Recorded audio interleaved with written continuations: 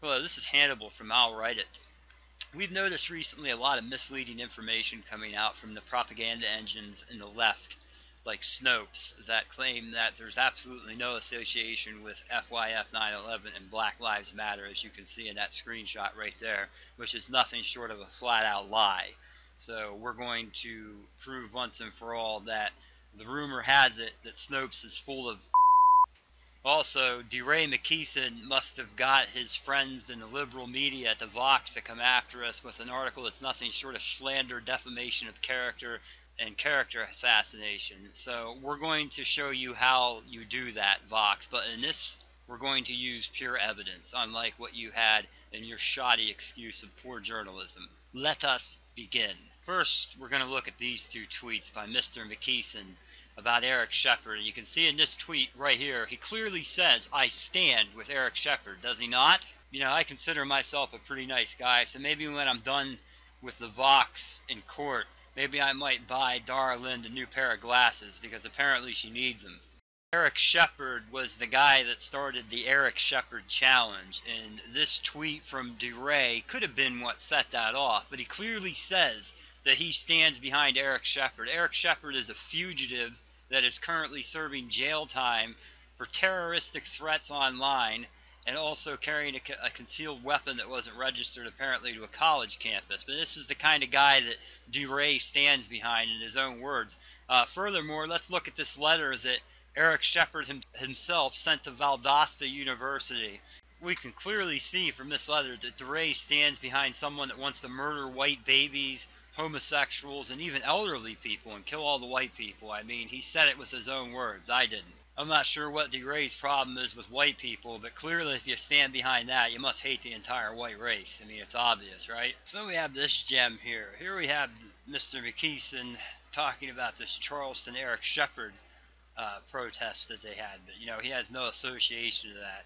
And uh, here he is, uh, look at this comment, and this flag burns Charleston and uh, you know that's what uh, he's promoting here. And here's the photographer that took these pictures. This guy made a major mistake. You see, every time you upload a picture, you take a picture from a camera, has something in it called EXIF data. That's going to tell us exactly when that picture was taken. That also tells us it is impossible for McKesson to lie out of this one and say I have nothing to do with it. You know, Black Lives Matter sure don't have anything to do with flag burning, but here's someone with a shirt on doing it. And then you come over to here, that does look like McKesson right there, doesn't it? So let's look at the EXIF data and upload these pictures. Right, here's one. Here's the first one. So when was this picture taken? Yeah, this picture was taken June 21st, 2015 at 7.06 p.m. Okay? So let's look at the second picture. When was this picture of Mr. McKesson taken at the same place.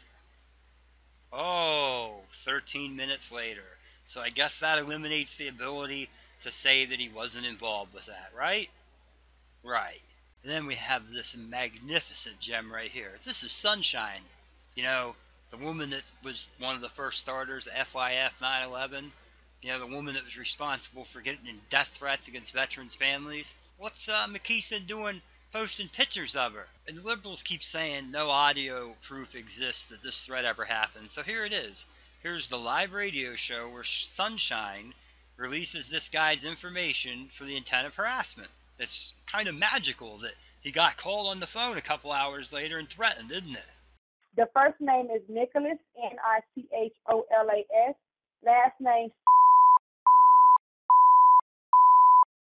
His phone number is a Long Island number, six three one five five eight. You think that's bad? Wait until you see what Sunshine has to say about African Americans that have white friends and work 40 hours a week. This is the good part.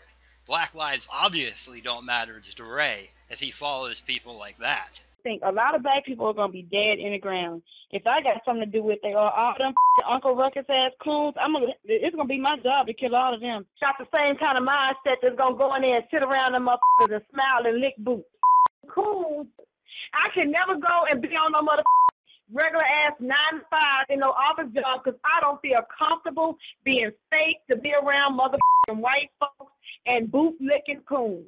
How are you going to tell me that Black Lives Matter if you post pictures and quote people and support people that say they're going to kill any black person that has white friends or works a 9 to 5 jobs? I mean, do Black Lives Matter you, DeRay?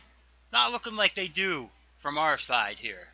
Then you have this gem right here at Snopes saying, you know, in fact, a video uploaded in September 4th, King Noble said explicitly that Black Lives Matter wasn't involved with FYF 9/11 because apparently that's what liberals do. They take the word over someone that advocates the molestation of children and the rape of African American women over the clear evidence posted on his own website and all these pictures that show you the FYF 9/11 and Black Lives Matter movement hashtags being posted together.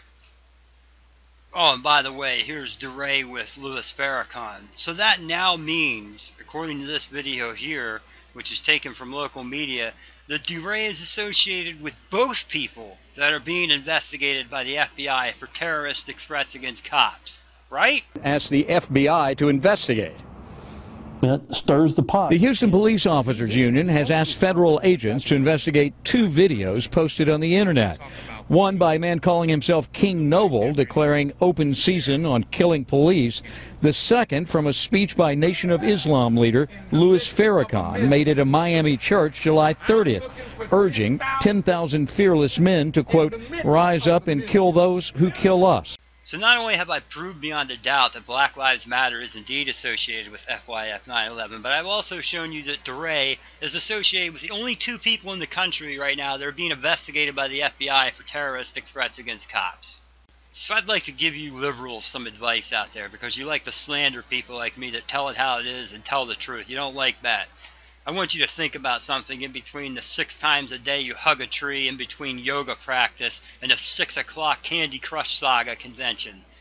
What I think you should do, people like Dara Lind, is I think you should take about a hundred thousand of you guys and go over to the Middle East and start mingling with ISIS. Because if you're as good at destroying them as you are at destroying America, we will not have a problem with ISIS within a year. And that's a fact.